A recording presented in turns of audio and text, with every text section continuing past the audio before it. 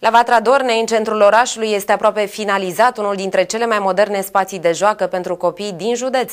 Viceprimarul Marius Râpan a precizat că acest proiect este parte integrantă dintr-un program mai mare al stațiunii infrastructură și element la Vatra Dornei. Este un proiect mai amplu care a avut două componente, de fapt, o componentă de infrastructură de drumuri și o componentă de locuri de joacă și locuri de fitness, practic de locuri de relaxare.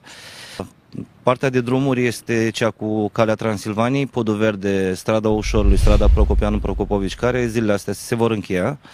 Uh, partea de agrement sau, mă rog, locuri de joacă și fitness sunt în parc, uh, una lângă, un loc mai mare de joacă lângă catedrală, uh, un loc de joacă undeva în parc, mai sus, lângă Pârtia Parc și chiar la intrare în parc, din spre Pârtia Parc, este un loc de fitness în aer liber.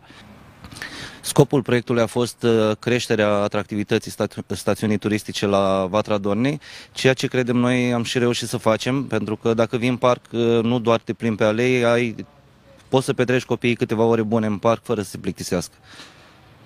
Uh, când uh, vor fi date în folosință, mă rog, uh, locurile de joacă conform reglementărilor sanitare din perioada stării de alertă sunt încă închise, dar când vor fi ele pregătite astfel încât odată cu reglementările de la nivel central să și poată primi copii? Sperăm cât de repede să se poată da, da drumul și la locuri de joacă pentru copii. Termenul pentru finalizarea lucrărilor este 23 octombrie. Dar, uh, după cum vă spuneam, uh, încheiem uh, capitolul cu străzile din acest proiect. După cum vedeți, se lucrează la montarea covorului de gazon natural și sperăm cât de repede să poată fi dat drumul și la aceste locuri de joacă. Depinde și de vreme și de constructor, dar ei sunt în grafic și chiar sunt, sunt înaintați cu lucrările. Am văzut că pe lângă covorul uh, natural care se montează chiar în spatele nostru în aceste momente, e și un uh, covor de trafic extrem de colorat și care e special pentru asemenea proiecte.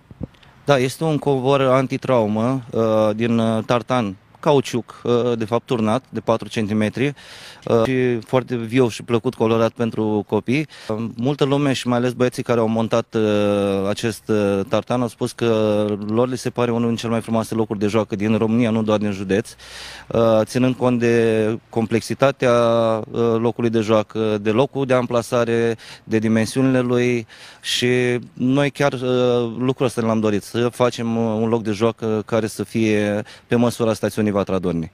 Profit de prezența dumneavoastră alături de noi pentru a vă întreba care e stadiul lucrărilor la proiectul de loazir de la stadion și ce alte lucrări se mai întreprind acolo, pentru că am văzut e șantier și în partea din față, nu doar pe terenul 2 acolo unde deja lumea văzuse că se lucrează. Da, suntem uh, în grafic și cu lucrările la ter- fostul teren 2 uh, de sport uh, din zona stadionului, unde va fi un alt loc de agrement și loazir, cu două terenuri multisport, cu alei pie- uh, pietonale și pentru bicicletă, locuri de joacă pentru copii, locuri de fitness și acolo. Și am, uh, într-un drum vrem să rezolvăm și problema parcării din fața sălii de sport și adiacentă stadionului și școlii numărul 1. Pentru că ar fi păcat uh, ca locul din spate să arate foarte bine și parcarea să rămână la modul la care arăta. Și când uh, sperăm ca și aceste două uh, proiecte să uh, prindă contur? Uh, la proiectul de loazir, e termen de finalizare a lucrărilor, este de 30 septembrie, iar pentru parcarea din față, credem noi că se vor încheia cam în aceeași, în aceeași perioadă cu, cu proiectul la loazir. Uh, pentru că mulți dintre cei care au aflat care e structura uh, pe componente a proiectului de acolo, de la terenul 2, spațiul de agrement și loazir, uh, au fost foarte interesați de cele două terenuri. Ne puteți detalia un pic dacă vor fi acoperite, dacă vor avea nocturn? Amândouă terenurile vor fi dotate cu nocturnă. Unul dintre terenuri va fi acoperit cu un balon presostatic pe aer cald, care va funcționa normal pe perioada sezonului rece, iar celălalt va fi descoperit. Sunt dotate cu vestiare. Uh, după... Cel acoperit uh, va avea și încălzire? Da, um, automat uh, fiind ridicat balonul cu aer cald. Deci se ridică odată cu căl- intrarea aerului cald în interiorul balonului. Sunt dotate cu vestiare, cu dușuri, cu tot ce trebuie pentru a desfășura uh, activități sportive în cele mai moderne condiții. Asta a fost uh, și rațiunea, apariția uh, acestei uh, clădiri, să o numim așa, tehnice de vestiare și de dușuri, motivul pentru care ați dărâmat clădirea veche de la stadion, cu care lumea era obișnuită acolo mai în față?